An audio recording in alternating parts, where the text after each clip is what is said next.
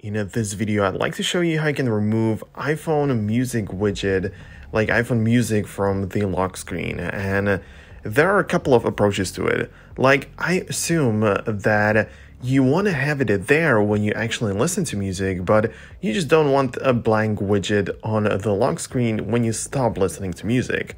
And this happens a lot actually. So uh, there are a couple of ways how you can remove it. First of all, make sure that the music app is actually closed in the background. So of course, go to the all of the open apps and just slide up on the music. If it still happens that the music widget is still there and it's blank without any music, then go to your control center and then there is another music widget and there you need to play, uh, click on the play icon that is going to cause uh, the music to be played. And I managed or I figured out that if you do it this way, then yeah, of course, when it starts playing, it shows up on the, the lock screen again. But when you come back to the all of the open apps, slide up and uh, close the music, then if you come back to the lock screen, it's not there again. Well, this was like the first approach that I have for you in this video. The other thing is a little bit more permanent and it's probably not something that you want to do, but perhaps you do.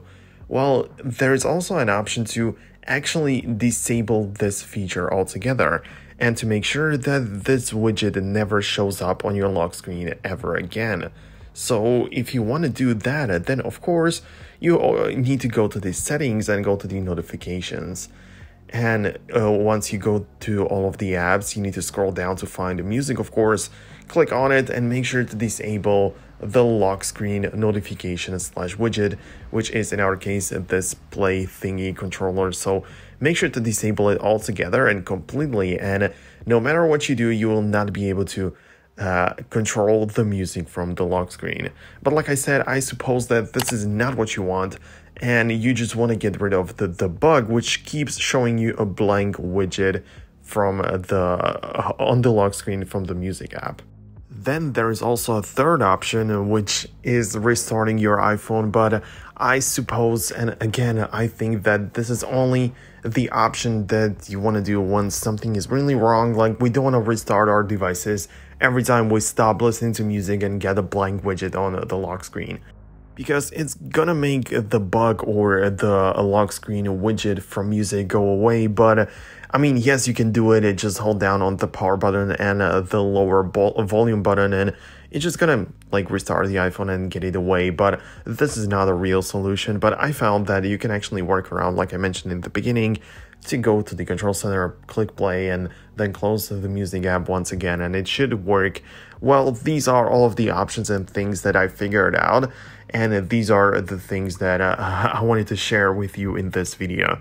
I really do hope that you found something valuable in one of them, and if you did, I would appreciate if you hit the thumbs up, because it really does help the channel.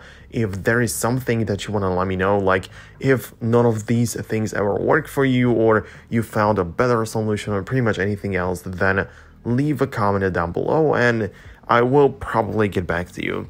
So thanks a lot for watching. You can subscribe so you don't miss future uploads and videos like these. I would appreciate it, of course, but also some interesting videos are going to show up on your YouTube page. So I would advise you to subscribe, but only if you want to. Thanks a lot for watching and sticking by uh, till the end of the video actually. So thanks a lot for your support and see you guys later in one of the future videos. Have a great rest of the day.